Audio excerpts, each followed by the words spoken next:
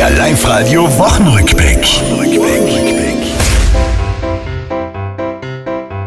In Niederösterreich erlebt die ÖVP ein blaues Wunder. Und in Tirol, da wird der Fasching langsam immer bunter. Die Politik sagt, Pandemie ist aus, gilt für an jeden. Ab Juli sind wir alle gesund. Das kann es nicht sein. Wenn ich mit 41 Grad Fieber rein, da kann keiner arbeiten. Da braucht man nicht reden.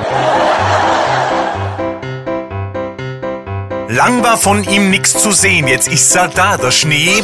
Und die Vignette neu gehört geklebt, sonst tut sie weh.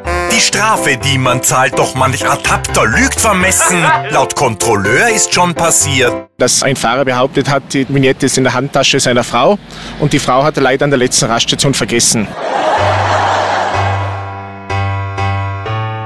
Live-Radio zahlt weiter Rechnungen. Groß ist die Freude und der Radiotest zeigt Live-Radio. Hören immer mehr Leute.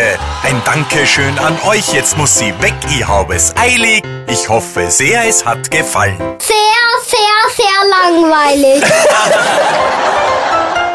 Das war's, liebe Tiroler. Diese Woche, die ist vorbei.